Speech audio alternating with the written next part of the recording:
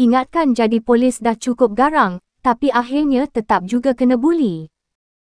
Itulah yang berlaku di dalam video ini, apabila seorang anggota polis trafik terpaksa merayu bagi mendapatkan semula barangan mereka yang telah dilarikan oleh abang kawasan. Kejadian yang berlaku di sekitar Pahang tersebut jelas menunjukkan kadangkala polis juga tidak terlepas daripada menjadi mangsa buli.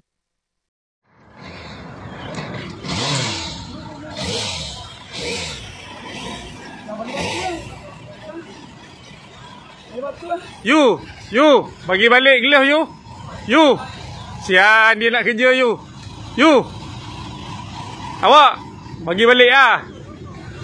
Meh meh meh, bagi balik meh gelas tu eh, pulang balik eh. Alah alah alah alah orang nak kerja kau ambil pula gelas kawan tu. Meh bagi balik.